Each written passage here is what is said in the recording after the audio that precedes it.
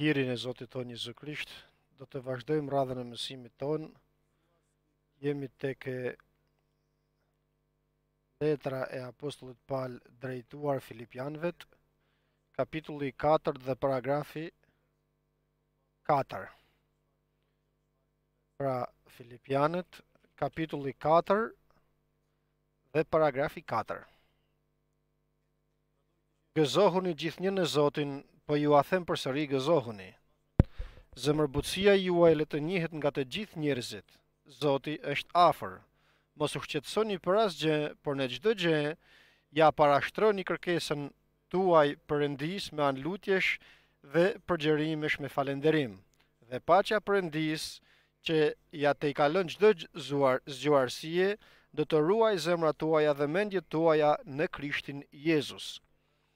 Së fundi, vëllezër, të gjitha gjërat që janë të vërteta, të gjitha gjërat që janë të ndershme, të gjitha gjërat që janë të drejta, të gjitha gjërat që janë të pastra, të gjitha gjërat që janë të dashura, të gjitha gjërat që janë me famë të mirë, nëse ka ndonjë virtyt dhe nëse ka ndonjë levdim, këto mendoni. Ata gjëra që keni mësuar, marrë dëgjuar nga mua dhe patë në mua i bëni dhe Perëndia i paqes do të jetë me ju. Dhe u gëzova shumë në Zotin sepse më në fund kujdesi juaj për mua u rigjallërua në realitet ju edhe e kishit në mendje por nuk kishit rast. Nuk e them këtë se jam në nevojë, sepse unë jam mësuar të kënaqem në gjendjen që jam. Unë di të jem i përunjur dhe di të jetoj edhe në bollek, në çdo vend dhe për çdo gjë jam mësuar të nginjem dhe të kem uri, të kem me tepri dhe të vuaj në ngushticë. Unë mund të bëj gjithçka me anë të Krishtit që më forcon. Por ju bëtë mirë që morët pjesë në pikëllimin tim. Edhe ju, o filipianë, e dini se në fillim të predikimit të Ungjillit, kur u nisa nga Maqedonia, asnjë kishë nuk ndau me mua gjë për të dhënë a për të marrë veç jush. Sepse edhe në Thesaloniki më dërguat jo vetëm një herë, por dy, për kujdesje kur isha në nevojë. Jo se unë po kërkoj dhurata, por kërkoj fryt që tepron për dobinë tuaj. Tani i kam të gjitha dhe më teprojnë. Jam përplot mbasi mora nga Epafroditi atë që më ishte dërguar nga ju, një parfum erëmirë, një fli i pranueshëm, i pëlqyeshëm nga Perëndia. Dhe Perëndia im do të plotësojë të gjitha nevojat tuaja sipas pasurisë së tij në lavdi në Jezu Krisht. Perëndisë tonë e Atit tonë lavdi në shekujt e shekujvet Amen Përshëndetni të gjithë shejtnoret në Jezu Krishtin Vëllezërit që janë me mua ju përshëndesin Të gjithë shejtnoret ju përshëndesin sidomos ato të shtëpisë së Cezarit Hiri i Zotit tonë Jezu Krisht qoftë me ju të gjithë Amen Duke vazhduar letrën e tij, apostulli Pal, drejtuar kishes që e don veçanarisht, që e respekton dhe që e vlerëson, sepse qëndrojnë me besim në fjalën e Perëndisë, në të vërtetën e Perëndisë dhe në dashurinë e Perëndisë. Edhe mëshira edhe e vërteta tepron në kishën e Filipianëve. Për këtë arsye edhe apostulli Pal me shumë dashuri dërgon duke përshkruar për përsosmëri të kishës që të mvaren në vullnetin e Perëndisë dhe që të mvaren në fjalën e Perëndisë. Vazhdon këtë mesazh të ri apostulli Pal duke thënë gëzohuni në Zotin gjithnjë dhe ju them përsëri gëzohuni. Do të guxoja të thoja se nuk është thjesht një këshillë, por është një urdhër i fjalës të Perëndisë që të kemi gëzim në jetën tonë. Sepse gëzimi është karakteristikë e mbretërisë të Perëndisë, ku mbretëria e Perëndisë nuk është të hamë e të pimë, por është drejtësi, paqe dhe gëzim në frymën e shejtë. Pra është urdhër i Perëndisë që të gëzohemi. Dhe kur e dëgjon dokush këtë, sigurisht që thotë, edhe unë dua të gëzohem, por ja që nuk mundem të gëzohem.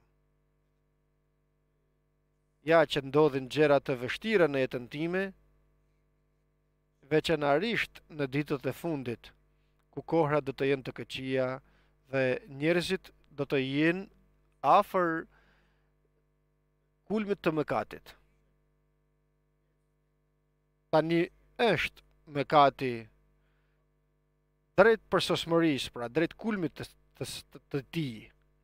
Dhe jo vetëm me kaq, por edhe të gjitha gjendjet, edhe në të gjithë faqen e dheut në shkallë botërore, apo nëpër popuj dhe kombe, dhe akoma edhe në stade të kishës, apo familjar, apo personal, gjërat janë shumë vështirë. dhe mundësisht janë kaq të vështira gjërat sa për të ardhmen e njerëzimit, të paktën me shikimin e kësaj bote dhe të njerëzve të kësaj bote, ku edhe bashkimi evropian akoma i dha një skuadre të zgjuarve tani dhe 20 vjet që të përshkruajnë dhe të studiojnë e zhvillimin jetësor ku është e nevojshme që të jetojë brezi njerëzor. Sepse nëse nuk ka brezi njerëzor do të ndalonte që të përparonte, ashtu sikurse ne tani veçanarisht dhe aq më tepër në botën e qytetëruar, në botën e përparuar do ta thoja. Por nuk do të flasim për këtë. Ajo që na intereson është që jeta e përditshme ka tre gjëra bazë karakteristike. Ka rezultatin ekonomik e para, e dyta ka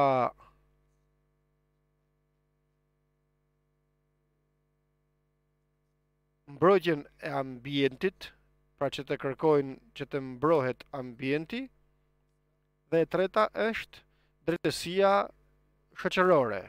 Këto tre karakteristike duhet që të mundet të zhvillohet dhe të përparojë jeta, e cila nuk ekziston dhe e cila arrin që njerëzimi të arrijë plotësisht në udhëkryq.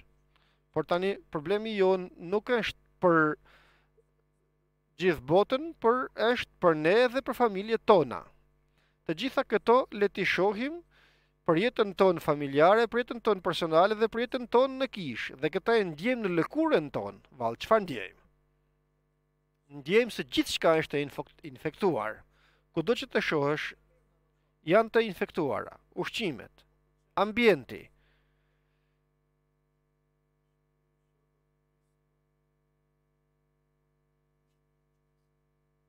Domethënë, mosmbrojtja e ambientit, pavarësisht se mundohen të ndreqen azotin, krijojnë shumë probleme tek njerëzit dhe një karakteristikë bazë, një shembul, është Kina, e cila ka një përparim të tmerrshëm dhe pa llogaritur ambientin dhe arriti tani në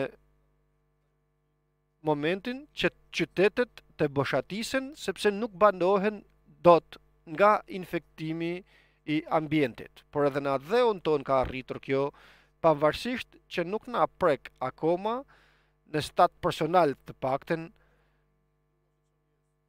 E dyta është jeta shoqërore, ku këtu na prek. Ashtu sikurse shfrytëzimi Jo nga ligësia gjithmonë e njerëzvet, por në rastet më të shumta nga nevoja e njerëzvet e njeriut për njeriun bëhet gjithnjë dhe më i madh shfrytëzimi. Unë kur dikur vazhdova të punoja, punoja 8 orë, 5 ditë, 40 orë. Tani të rinjtë dhe paguheshim mirë atëherë. Dhe gjithmonë rrogat tona shtoheshin. dhe stati jetësor ishte gjithnjë në ndreqje. Jetuam në kohërat e mira, mendoj. Të rinjtë tani vuajnë jashtë mase. Me një me një pagë shumë të pavlerë dhe nëse dikush gjen punë, le që është papunësi e madhe, papunësi e madhe. Dhe nëse dikush gjen punë, shfrytëzohet jashtë mase. Pra, katandisen në skllaveri. në Greqi, e cila i për e ju përket shteteve të përparuara, ja mendoni tani në shtete të tjera që nuk janë përpara dhe mirë nga ana ekonomike. Dhe e treta, e cila është Është rezultati ekonomik ku përjetojmë ne, nuk të them për në shkallë botërore këtë, e jetojmë dhe në, në, në, në gjendje tragjike, duke parë që në vend të ketë shërim kjo gjendje, që të ketë një ekonomi më të mirë, gjithnjë dhe më tepër ka rënie.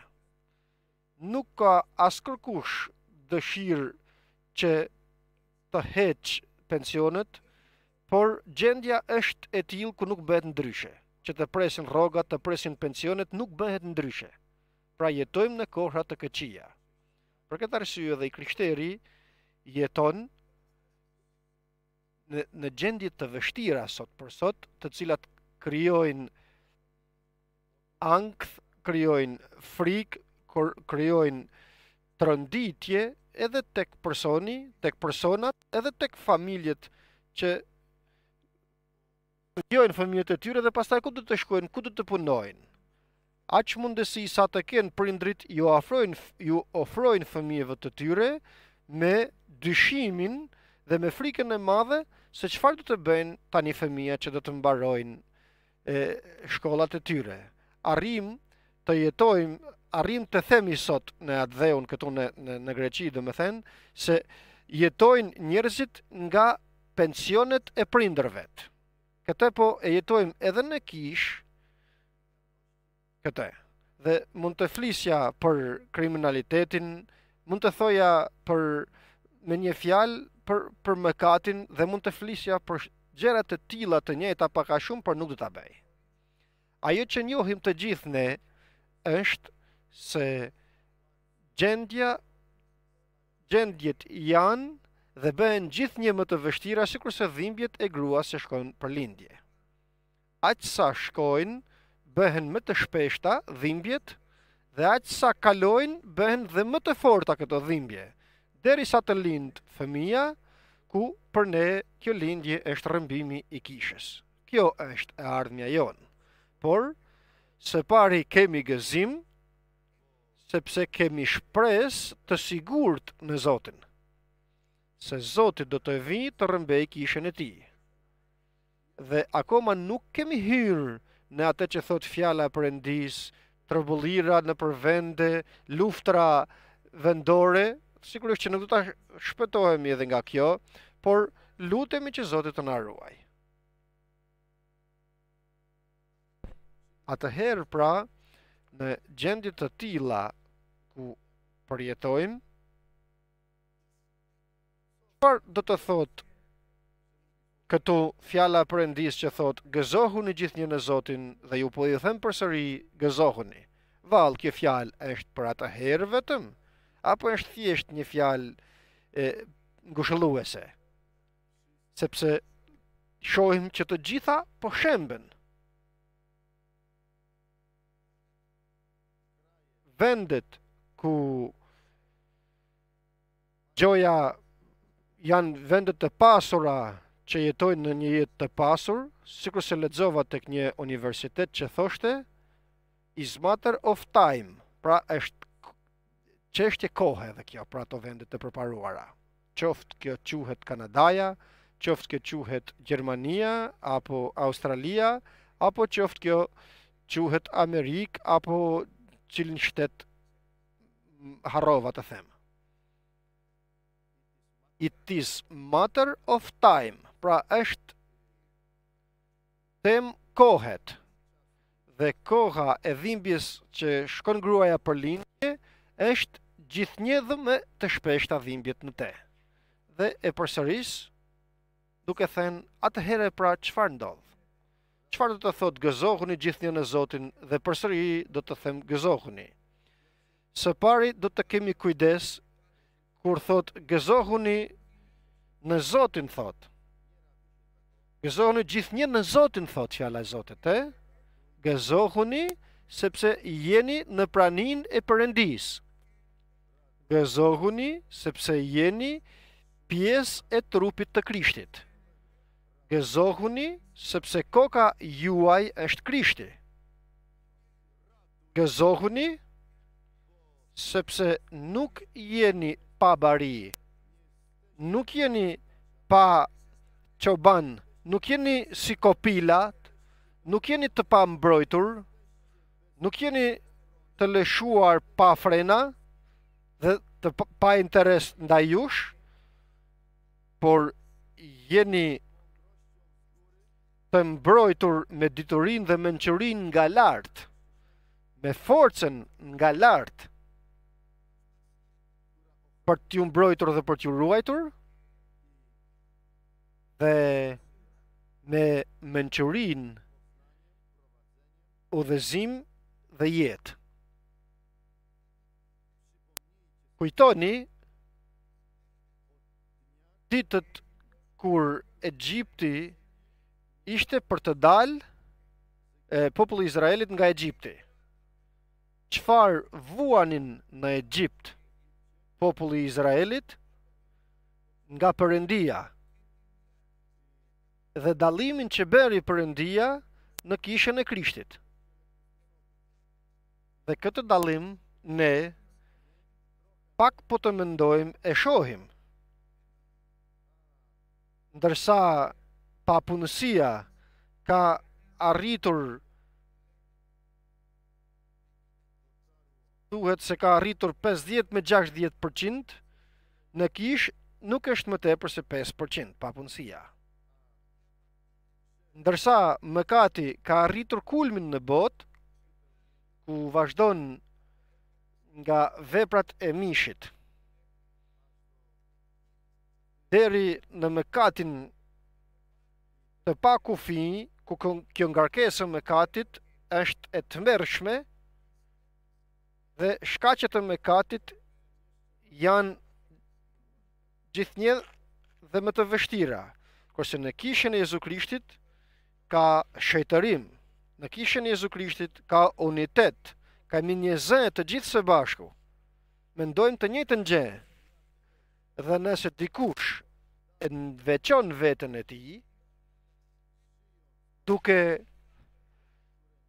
jetuar në pasojat që nuk do të jetonte po të ishte në kishë, atëherë mund të kthehet, nëse kthehet sigurisht në kishën e Krishtit atje ku ishte. Por apostulli Pal atëherë nuk përshkruan për atëherë vështirësitë, unë guxoj të mendoj si i pamend mbase guxoj të mendoj se ungjilli i Jezu Krishtit u shkruajt për ditët e fundit. Pra kjo letër drejtohet veçanërisht për ne sot. Dhe përse e shpresoj këtë dhe e besoj akoma, sepse karakteristika pasuese është se zemërbutësia juaj Le të njihet nga të gjithë njerëzit, jo vetëm tek vëllezërit dhe motrat tuaj, por tek të gjithë njerëzit të jetë e dukshme zemërbutësia juaj, sepse Zoti është afër. Përse Përse na dëshiron që të jemi zemërbutë në botë, që t'i informojmë dhe mundësisht sikurse është e shkruajtur dhe kështu mbi ditët e fundit do të jap frymën time thotë fjala e Perëndisë dhe të profetizojnë tek bijtë dhe bijat e mi. Pra, interesohuni na thotë që zemërbutësia juaj të njihet nga të gjithë njerëzit, sikurse zemërbutësia është rezultat i dashtë. dashurisë, sepse Zoti është afër dhe dëshiron të shpëtojë shumë dhe do të shpëtojë dhe lum do të lum ai që e ka kuptuar fjalën e Perëndisë që lutet me këmbëngulje tek i Plotfuqishmi në emër të Jezu Krishtit dhe ungjillizon që të përdorim shprehjen biblike, ungjillizon njerëzit rreth e qark tij dhe bëhet i pranueshëm, fjala e tij, sepse zemërbutësia e tij së pari është bërë e njohur tek të gjithë njerëzit të cilët Perëndia i jep në duart e gjithësecilit nga ne që të ungjillizojë, që të rrëfejë. që të dëshmojë sepse Perëndia dëshiron që të shpëtohen të gjithë njerëzit të në pendes dhe në njohuri të fjalës së vërtetë. Por kthehemi përsëri tek ne sikurse tani Zoti jon me fjalën e tij I njeh vuajtjet tona dhe shqetësimet tona. Dhe shqetësimi çfarë do të thotë? Shqetësimi do të thotë vuajtje. Shqetësimi do të thotë frikë. Shqetësimi do të thotë ankth. Do të thotë udhëkryq shqetësimi. Vuajtje e trupit, e shpirtit dhe e frymës është shqetësimi, vuajtje në punën tonë, vuajtje në lagjen tonë, vuajtje në farefisin tonë, gjithashtu shpeshherë vuajtje akoma dhe në familjen tonë, për shkak të shumë problemeve të cilat vijnë të godasin të krishterin i cili jeton në botë, por nuk është nga kjo botë. Dhe njeriu i Perëndisë duhet që të qëndrojë fitimtar. Sepse Krishti tha, unë fitova. Fitova, thotë. Dhe vazhdon duke thënë se edhe ju do të fitoni. Do të fitoni botë, ndaj botës. Dhe ky është ajo që fitova ndaj botës. Besimi juaj në ungjillin e Krishtit, në fjalët e Jezu Krishtit dhe në këshillat e Jezu Krishtit. Vall, si do të ballafaqohem unë dhe gjithsecili nga ne? Si mund të ballafaqohemi me vështirësitë, me dhimbjet e gruas që është për lindje, shqetësimet tona, frikërat tona, ankthet tona? kushdo qofshin ato, si vall do të mund të, të, të i kalojmë në mënyrë që urdhri që na jep Perëndia që thotë gëzohuni në Zotin gjithmonë të jetë në mundësinë tonë që të mundemi ta realizojmë këtë që thotë gëzohuni gjithnjë në Zotin. Sepse ungjilli i Jezu Krishtit nuk është ngushëllim tek i sëmuri derisa të dalë shpirti i tij, por ungjilli i Jezu Krishtit është po dhe amin. Kur të jep urdhër, në qoftë se mund ta marrësh edhe si këshillë, unë e them se është urdhër. Ti thuaje si të duash. Ndash thuaje urdhër, ndash thuaje këshillë. Por kur më jep urdhër fjala e Perëndisë që më thotë, gëzohuni gjithnjë në Zotin dhe shënojeni gjithmonë ose gjithnjë, sepse kjo gjithnjë do të thotë gjithmonë, me të gjitha dhe pak në të gjitha. Kur na thotë, pra, gëzohuni gjithnjë në Zotin, dhe përsëri po ju them gëzohuni, na drejtohet ne që vuajmë. që vuajmë nga njerëz, nga gjendjet, nga familja jonë, nga burri jonë, nga gruaja jonë, nga fëmijët tonë, nga bashkëpunëtorët tonë, nga pronarët tonë, nga kudo që mund të vuajmë. dhe na udhëzon, na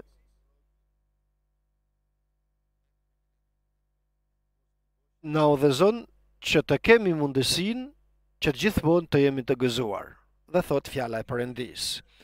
Mos u shqetësoni për asgjë. Tjetër urdhër ky. Ma unë tani po digjem, si mos të shqetësohem për asgjë? Çdo shqetësim tuajnë, le, jep, le, lëreni në duart e atija, sepse ai interesohet për ju. Ma unë po humbas, merre shqetësimin në Zot, asgjë nuk bëhet. Hiqni çdo ngarkesë që ju rëndon. Ma si ta heqi këtë ngarkesë që më rëndon?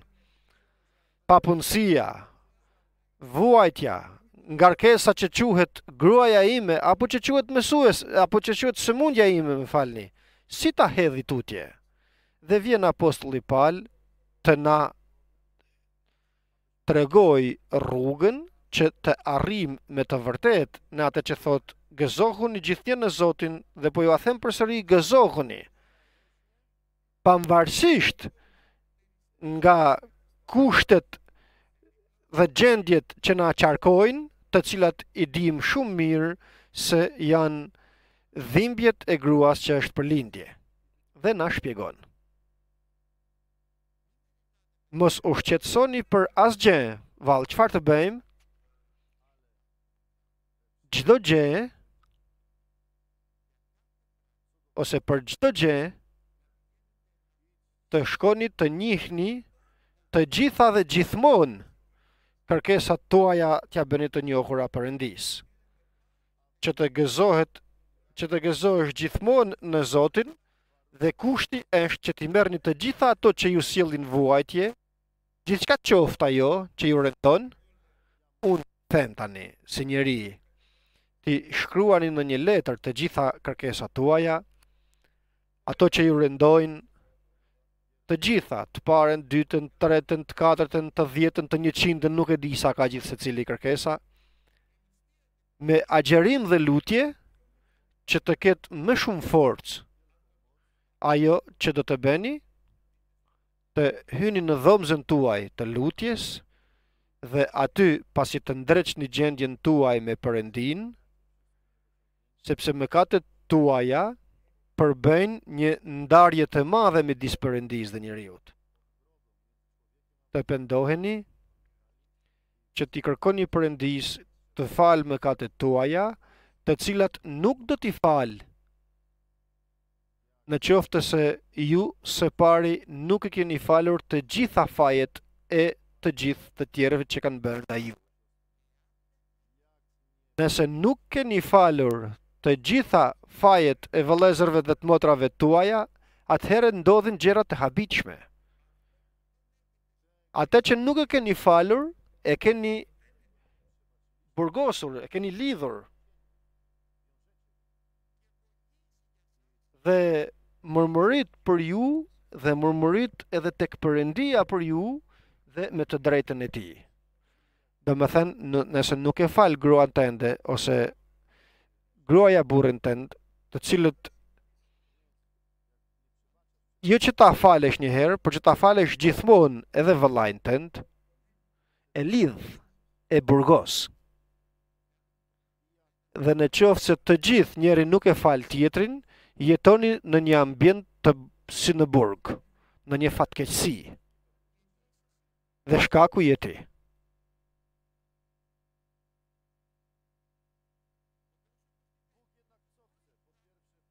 por Perëndia çfarë dëshiron? Thotë, së pari, ndihmoje atë tjetrin që dhe kërkoji falje që ta çlirosh atë dhe të çlirosh edhe veten tënde. Në qoftë se nuk fal, pra burgos tjetrin, Perëndia i cili ka pushtet që të kontrollojë çdo person mbi faqen e dheut, mërzitet për ty që nuk fale tjetrin. Dhe ke të bësh tani me me një Perëndi që nuk mundet të të falë sepse është i lidhur me anë të fjalës të tij. Por gjithashtu ke të bësh edhe me një Perëndi që do të të dërgojë tek torturuesit, jo për të të torturuar për dënim, por për të të stërvitur. Dhe nëse të dërgon tek torturuesit, ngaqë nuk është ajo që kërkon ti të falet tjetri, tjetri falet dhe ti do të vuash mbase do të vijsh në vete dhe të shpëtohesh. Kështu pra, siç e filluam, gëzohuni në Zotin gjithmonë gëzohuni, me dëshirën që të na falë Perëndia, dhe nuk mundet të na falë në dhomëzën e lutjes në qoftë se ne nuk i kemi falur ato fajet e vogla mbase të vëllait tonë.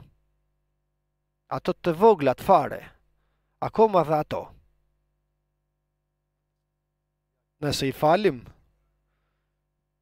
Pavarësisht nëse tjetri na fal apo jo, ne përparojmë.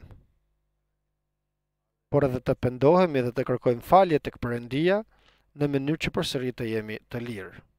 Sepse ndryshe do të krijohet një familje, një farefis ose një kishë ku njëri do të ketë lidhur tjetrin dhe të gjithë do të torturojnë njëri-tjetrin dhe të gjithë do të torturohen nga torturuesit ose nga vetë Perëndia në fund. Nëse falim, atëherë ekziston ajo që thotë, lum ai që i është falur mëkati, iu mbulua paudhësia dhe nuk e llogarit më paudhësinë e tij Perëndia. Atij njeriu, Perëndia i premton tanimë që kuptove, që fale, U çlirove dhe çlirove të tjerët, atij Perëndia i thotë se unë tanimë ty do të të ndriçoj mendjen, do të të mësoj udhën në të cilën do të ecësh, do të këshilloj dhe syri im gjithmonë do të jetë mbi ty që të të mbroj. Ky është i krishteri i vlefshëm për veprën e Perëndisë dhe i krishteri i denjtë në sytë e Perëndisë. Këtë të krishterë Perëndia do ta lartësojë dhe do ta përdorë për lavdinë e tij, sepse i drejti do të bëhet gjithnjë më i drejtë. Njeriu që nuk fal, lidh dhe vetë është i lidhur dhe do të bëhet i padrejtë dhe do të bëhet gjithnjë dhe më i padrejtë. Dhe kjo është përgjegjësia që na jep Perëndia për të ardhmen e mirë tonën. Kur të çlirohemi pra, dhe kemi premtimin e Perëndisë që na thotë se unë do të të ndriçoj mendjen, do të të mësoj, do të këshilloj dhe do të të mbroj, atëherë Të gjitha kërkesat tona që na shkaktojnë vuajtjet, i çojmë tek Perëndia me besim, ku besimi jonë shprehet me falenderim. Ia dhashë Perëndisë dhe e falenderoj Perëndinë se i dëgjoi. Do t'i dëgjojë. E falenderoj Perëndinë për këtë. Domethënë, të falenderoj o Perëndia im, sepse tanimë mundem të të afrohem i lirë dhe ti o Perëndi pastaj mundesh të më ndihmosh, të marrësh përsipër. Dhe vazhdoj dhe lutem tek Perëndia, me përgjërime dhe me falenderime.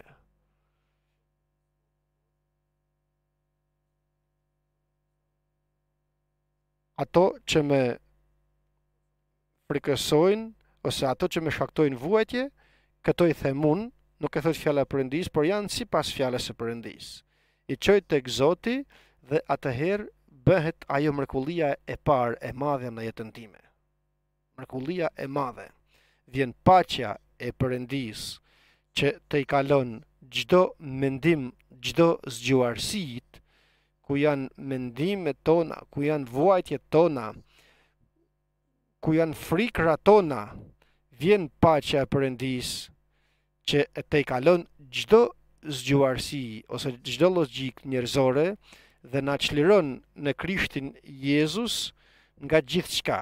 Na çliron edhe nga mendimet e tona, nga dhe nga zemra jonë dhe nga mendja jonë. Dhe ç'bëhet kështu njeriu?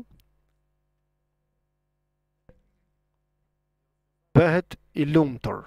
Nuk janë zgjidhur problemet, por ka paqe brenda tij. Zemra e tij nuk vuan tani më. Dhe me mendimet e tij nuk ka më frikë, por çfarë bën, shpreson tek Zoti. Dhe kush shpreson në Zotin nuk do të turpërohet. Shpreson në fjalën e Perëndisë. por ka nevojë për durim tani që të kryejë vullnetin e Perëndisë në mënyrë që të shijojë premtimin e Perëndisë. Nuk bëhet një herë dhe, si çakmaku një herë me të parën, për tani e tutje është vepër e Perëndisë. Për këtë arsye, thotë fjala e Perëndisë se këtë paqen që të dhuroj,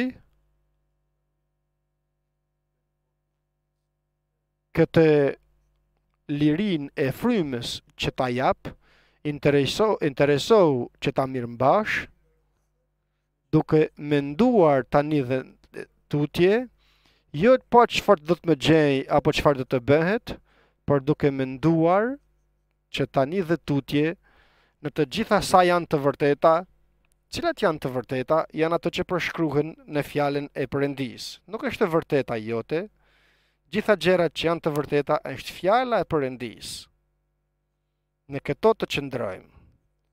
Në të gjitha gjërat që janë të ndershme, jo mendime të pandershme, mendime të liga, të gjitha sa janë të ndershme, të gjitha sa janë të drejta, Dhe cila është drejtësia? Jo drejtësia e njeriut që është një rrobë e njollosur, por drejtësia e Perëndisë që vjen nëpërmjet fjalës të Perëndisë. Të gjitha sa janë të drejta, të gjitha sa janë të pastra,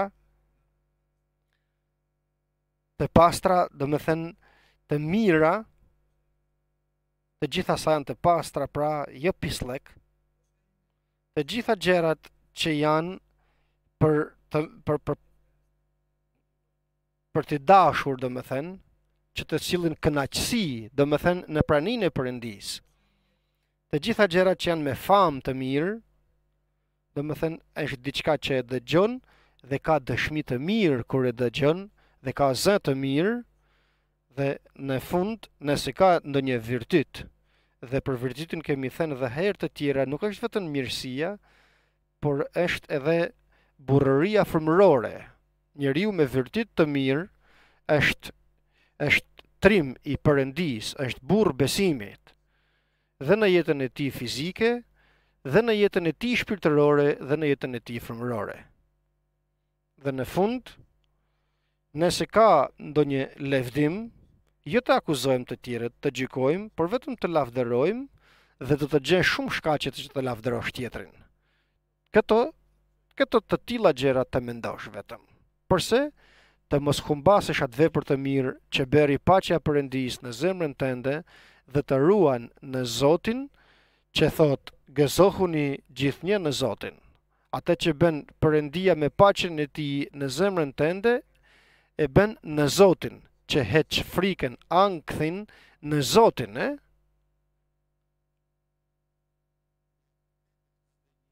Si rezultat që të mundesh të mos jesh më dëgjues dhe harraq, por të bëhesh bërës i asaj që dëgjove dhe i veprës të Perëndisë. Në mënyrë që ato që dëgjove, i more dhe që i pa në Fjalën e Perëndisë, ato bën.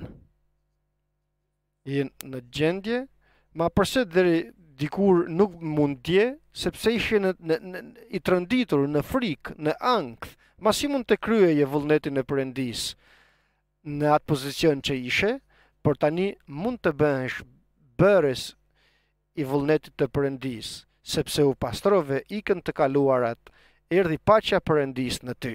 Tani nuk ke më frikë, nuk kyçesh më, por tani shpreson në Zotin. Sepse ke përkushtuar të gjitha kërkesat e tua me falënderim tek Zoti dhe sepse të janë falur mëkatet, ngaqë fale fajet e vëllezërve të tu. Dhe atëherë mrekullia e madhe se Perëndia i paqes do të jetë gjithmonë me ty.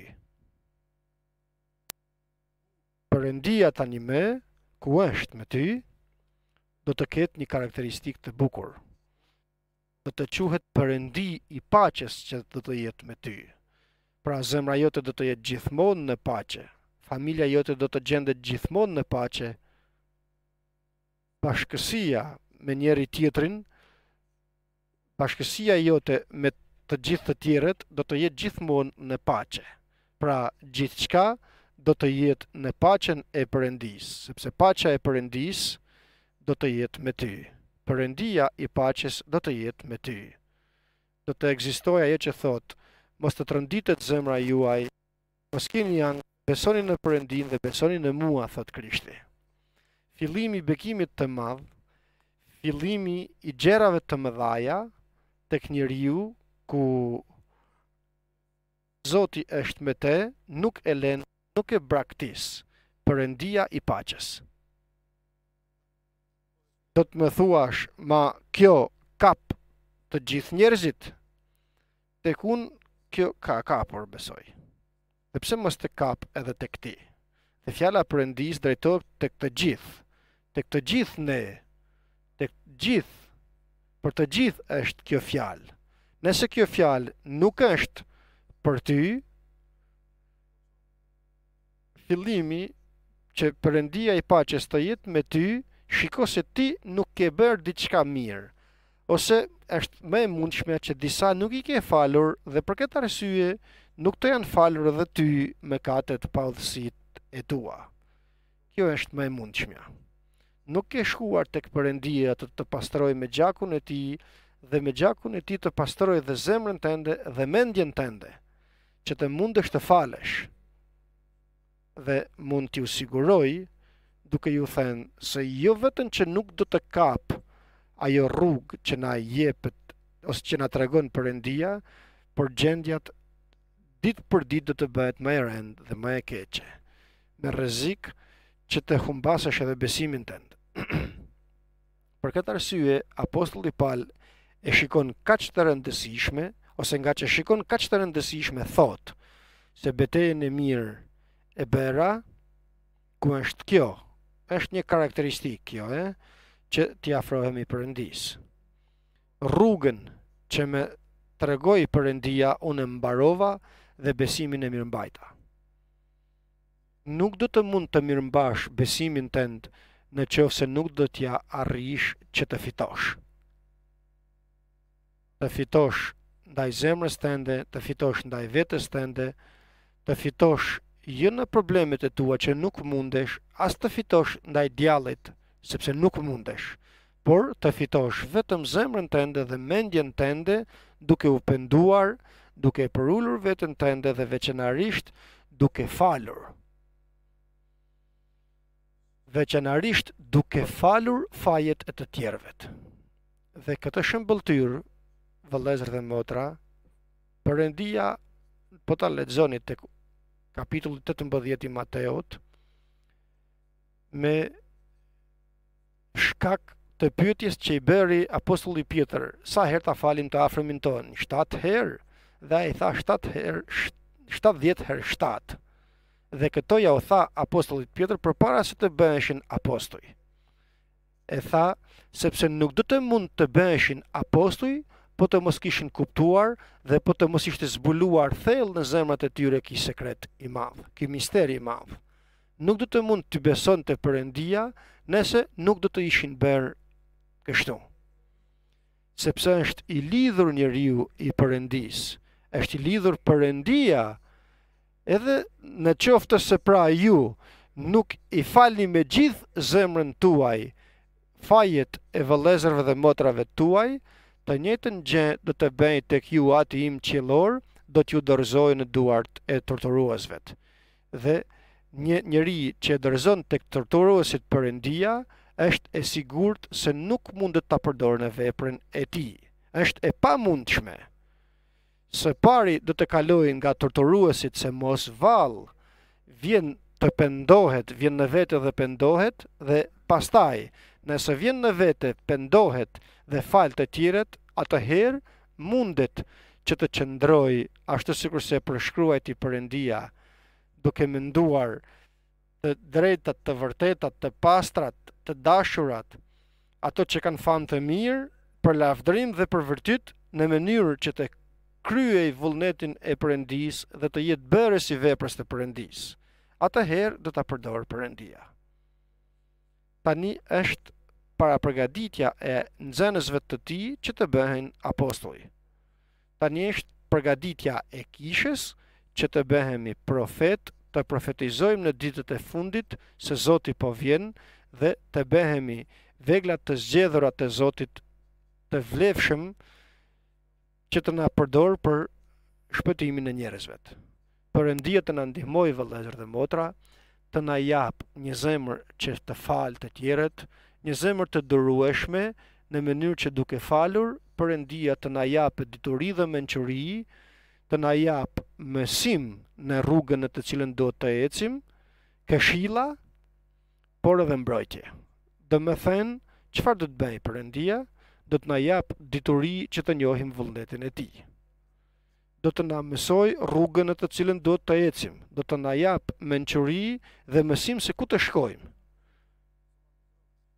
Do të na këshillojë që të na, na mësojë se ç'duhet të bëjmë. Do të na heqë çdo frikë, duke na zbuluar mbrojtjen e plotë të Perëndisë. Perëndia të na ruajë që të bëhemi njerëz të Perëndisë, të cilët Perëndia do t'i përdorë. Dhe sigurisht nuk është vetëm që të na përdorë Perëndia, por këtë mister të madh ka edhe fundin e tij, ose për shpëtimin, ose për humbjen.